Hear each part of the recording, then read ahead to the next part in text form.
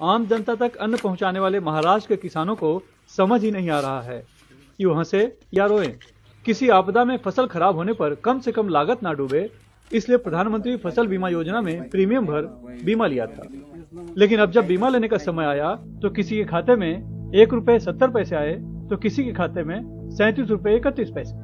परभणी ज़िले के दासला तहसील के कृष्णा राउत ने दो एकड़ खेत में सोयाबीन की फ़सल के लिए चार सौ पचपन का प्रीमियम भरा था।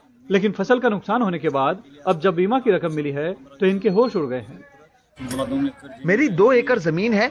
मैंने आईसीआईसीआई लोम्बार्ड कंपनी में सोयाबीन के लिए चार सौ पचपन रूपए भरा था लेकिन मेरे अकाउंट में सिर्फ़ एक रूपए सत्तर पैसे आए हैं। दासला तहसील के किसान पांडुरंग कदम के अकाउंट में आए हैं सैंतीस रूपए इकतीस पैसे। मेरी दो एकड़ खेती है। मैं दासाड़ा तालुका सीलू जिला परभणी का किसान हूँ। मैंने जो पंतप्रधान बीमा फ़सल योजना है उसमें 594 रुपीज़ प्रीमियम पे किया था, लेकिन कंपनी ने मुझे मज़ाक करते हुए only thirty seven rupees and thirty one पैसा इतना कंपनसेशन दिया है। मेरा नाइन्टी परसेंट लॉस हो गया था क्रॉप का। उनके एग्जीक्यूटिव भी आए थे, उनके प्रतिनिधि आए थे, उन्होंने खेत में जाके पूरा चेक किया। तो उन्होंने खुद होके कागदों पे लिखा है कि 90 परसेंट मेरा लॉस हो चुका है। तभी भी मुझे जो कंपनसेशन मिला है, वो only thirty seven rupees and thirty one पैसा ऐसे एक दो नहीं, सैकड़ों किसान हैं। जिनके अकाउंट में बीमा प्रीमियम से भी कम रकम आई है। कई ऐसे भी हैं जिन्हें एक रुपया भी नहीं मिला है। मैंने छह सौ रूपए का प्रीमियम भरा था लेकिन मेरे बैंक अकाउंट में सिर्फ़ चौहत्तर रूपए आए हैं। मुझे सिर्फ़ तिहत्तर रूपए आए हैं जबकि मैंने प्रीमियम भरा है एक हज़ार एक सौ सत्तासी रूपए का। परभणी ज़िले के किसानों की समस्या को लेकर जब एनडीटीवी के परभणी के प्रतिनिधि कन्हैया खंडेलवाल ने ज़िले के कलेक्टर और इंश्योरेंस कंपनी की स्थानीय शाखा से संपर्क किया तो कलेक्टर की तरफ़ से जवाब आया कि मामले की समीक्षा जारी है, इसलिए अभी बयान नहीं दे सकते, जबकि इंश्योरेंस कंपनी की तरफ़ से गोलमोल जवाब दिए गए। लेकिन इस बीच एनडीटीवी के फ़ोन के बाद किसान पांडुरंग कदम, जिनके अकाउंट में सिर्फ़ सैंतीस रुपये इकतीस पैसे आए थे, उनके अकाउंट में अब सत्रह सौ पंद्रह रुपये और जमा हो गए हैं।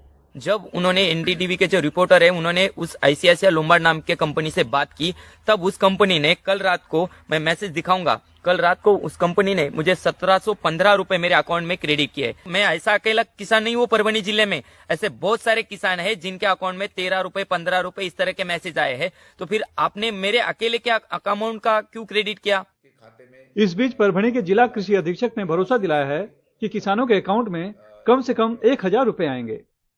मेरी किसान भाइयों से विनती है कि आप आपको कम से कम एक हज़ार रुपये और ज़्यादा से ज़्यादा अपना जो फ़सल का नुकसान हुआ है, उसके सर्वे के हिसाब से जो क्षेत्र का नुकसान हुआ है, उतना नुकसान का जो मुआवजा है, वो आपके खाते में जमा होने वाला है।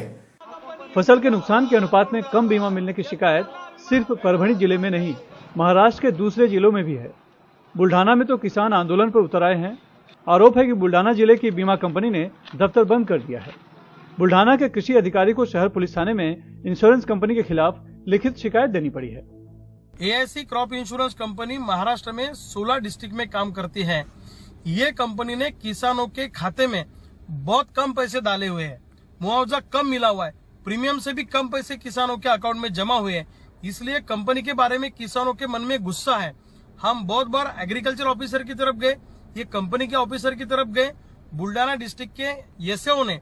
वहाँ पे, थाने में ये कंपनी के खिलाफ में कंप्लेंट भी दर्ज करी हुई है। लेकिन अभी तक ये कंपनी ने किसानों को मुआवजा नहीं दिया है। और 16 डिस्ट्रिक्ट में एआईसी कंपनी ने जो ऑफ़िस है उनके, वो पूरे बंद करके रखे हैं। अब किसान कंप्लेंट करेंगे तो कहा करेंगे? हैरानी की बात है कि हर समय किसानों के हित में लड़ने का दावा करने वाली राजनीतिक पार्टियाँ, चाहे वो विपक्ष में हो या सरकार में, इस मुद्दे पर सभी चुप हैं। परभणी से कन्हैया खंडेलवाल और मुंबई से शोहित मिश्रा के साथ सुनील सिंह, एनडीटीवी इंडिया के लिए।